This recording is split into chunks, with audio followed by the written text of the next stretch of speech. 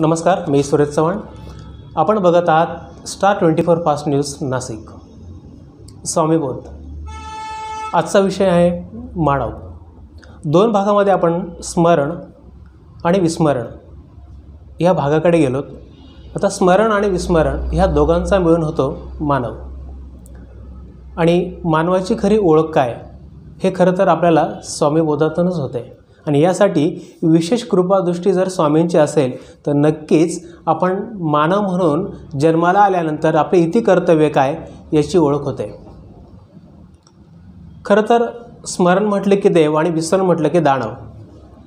स्वामी सेवेत जर असेल तर कायम तो देवाचा म्हणूनच सत्कर्मात उभा राहतो आणि विस्मरण म्हटलं की विचारायलाच नको. आज कलियुगात तुम्हा आम्हाला जे बघायला मिळतात दानवी कृत्य ती म्हणजे विस्मरणाचाच एक भाग आहे.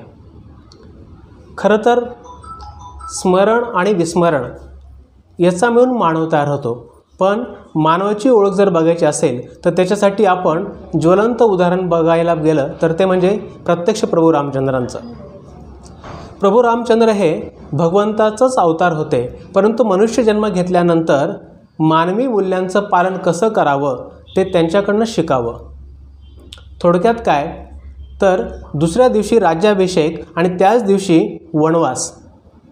आईचा शब्द पालन करून वनवासाला निघाले पण कुठल्याही प्रकारे अर्वाच्य भाषेत न बोलता कुठल्याही प्रकारे अपमान न करता आज्ञा पालन म्हणून आज्ञा पालन करून वनवासाला प्रस्थान केलं. हे विशेष गुण आहेत ना? कारण का? तर वैराग्य असेल ज्ञान असेल सामर्थ्य असेल शिकवण असेल आचरण असेल आणि स्वामी कृपा जर असेल तर नक्कीच त्या विचाराने आपली वाटचाल सुरू असते. आज्ञा प्रमाण म्हणून त्याचा स्वीकार केला आणि वनवासाला प्रस्थान झालं. हीच भूमिका तुमच्या आमच्याकडे हवी आणि हेच गुण तुमच्या आमच्याकडे जर असतील तर नक्कीच आपल्याला मानव म्हणून जगण्याचा अधिकार देखील प्राप्त आहे. म्हणून आजच्या या स्वामीबोधातनं आपण जर बघितलं तर जे गुण रामाकडे होते तेच गुण माझ्याकडे जर असतील तर खऱ्या अर्थाने मानव म्हणून मला कसं जगावं हे स्वामी तुम्हाला आम्हाला सांगत असतात.